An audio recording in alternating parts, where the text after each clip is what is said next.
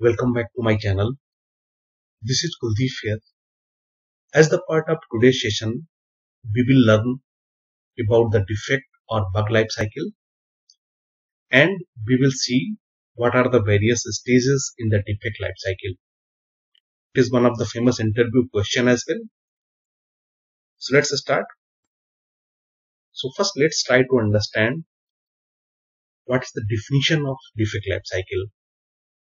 So basically defect life cycle is the journey of a defect which defect goes through during its lifetime and uh, once during a testing QA reports a defect so it must be fixed and removed from the system. A defect passes through the different stages before it gets closed.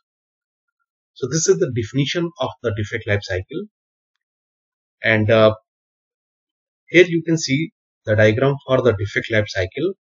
It has the multiple stages in it, right? So I will try to explain these stages with help of an example. So let's consider that we are testing this application and there is one requirement that once user clicks on this register button, so a registration page gets opened with the multiple details and once user fills these details so he is able to register himself successfully.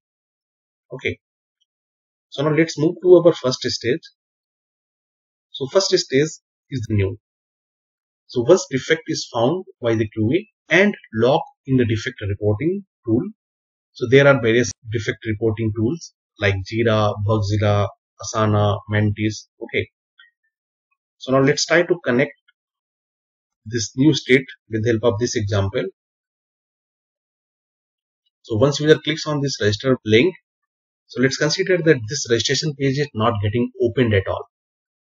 So which means that QA will report the defect for the same and the status of that defect will be new. We need to keep a note that the new status does not mean that it is really a defect. Okay. So let's move to the next stage.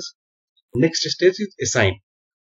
Once that defect is getting assigned to the development manager or lead or direct to the developer, so it is moved to the assigned states. Okay. The next stage is open stage.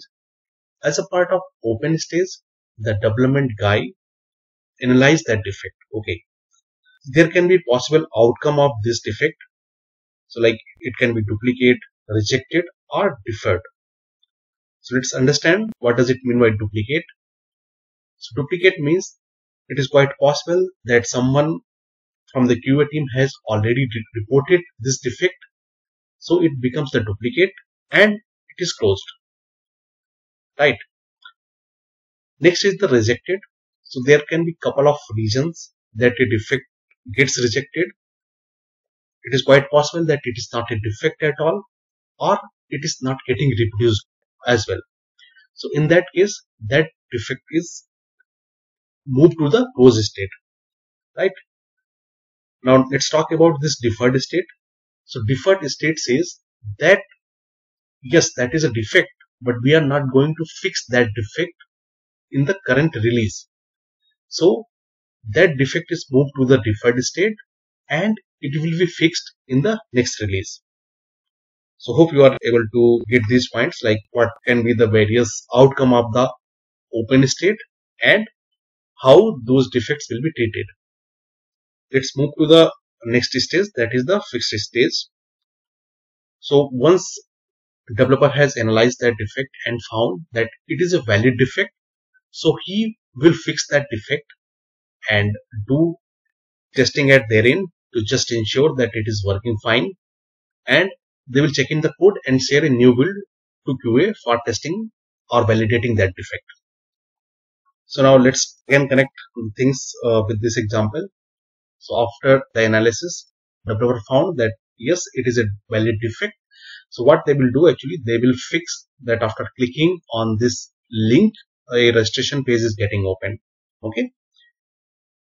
So once the defect is fixed and the build is delivered to the QA, So what the QA will do, they will do the retesting. After the retesting, QA found that this link is working fine and user is able to see the registration page, which means this defect is working fine at all. So that defect will be moved to the close state. Okay. But let's consider that it is not working fine at all. Like even though development guys has fixed it, but still there are issues in it and it is not working. So the QA will reopen that defect. Okay. And after reopening the defect, it will again assign to the respective developer. So this is the whole flow and these are the various stages of uh, defect life cycle. I hope it is helpful. That's it for today's video. Thank you for watching. Please like, comment, share and subscribe. Thank you so much.